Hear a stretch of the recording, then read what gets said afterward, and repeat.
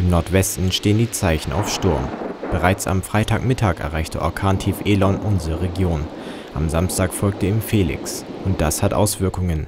Die Windgeschwindigkeiten mit Spitzen von bis zu 120 Stundenkilometern veranlassten die Nordwestbahn dazu, sämtliche Strecken zwischen Wilhelmshaven, Oldenburg, Bremen und Nordenham zu sperren. Die Feuerwehren sind im Dauereinsatz, Kettensägen laufen im Akkord. Besonders hart traf es am Samstag eine Doppelhaushälfte in der Hugo-Eckener Straße in Oldenburg. Ein durch Windböen entwurzelter Baum beschädigte das Carport des Hauses samt des darunter stehenden Autos und Teile der Solarzellenanlage auf dem Dach. Die Bewohner kamen unverletzt mit dem Schrecken davon. Die Sachschadenshöhe ist noch unbekannt. Schon am Freitag hatte Sturm Elon das Haus einer Familie in Flögeln im Landkreis Cuxhaven zerstört. Wir haben jetzt hier den Sturmschaden. Die große Buche ist auf zwei Häuser gebrochen. Eine Spielscheune und einmal auf ein bewohntes Haus. Und ja, Gott sei Dank ist in den Innenräumen der, des, des Hauses nichts passiert. Wir schneiden jetzt das Dach frei, dass sie äh, also ungefährdet wieder das Haus betreten können. Ebenfalls glimpflich gingen zwei sturmbedingte Lkw-Unfälle aus. Auf der Bundesstraße 212 nördlich von Sürwürden legte Freitagmittag eine Sturmböe einen Lastzug quer über die Fahrbahn, die anschließend zweieinhalb Stunden voll gesperrt werden musste. Verletzt wurde niemand, der Fahrer konnte nach der Bergung seine Tour fortsetzen. Mit dem Schrecken davon kam auch Lkw-Fahrer Murat B. Auf der A29 bei Oldenburg um Stede wurde sein Laster von einer so heftigen Böe erfasst, dass der Laster ins Schlingern geriet und in den Seitenraum kippte. Ich bin von der A29 Richtung Wilhelmshaven gefahren. Ja, und dann kam eine Windböe quasi.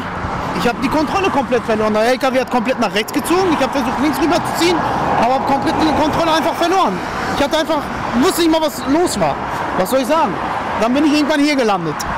Mehr kann ich dazu nicht sagen, also keine Ahnung. Ich bin selber im Moment geschockt und weiß selber nicht, wie das alles passieren konnte. Ich weiß es nicht. Ne? Sie sehen ja selber den Zustand des LKWs. Das ist Wahnsinn. Das ist wirklich Wahnsinn. Ich fahre schon seit zehn Jahren und sowas ist mir zum ersten Mal bis jetzt hier passiert. Ehrlich. Also, das ist Wahnsinn.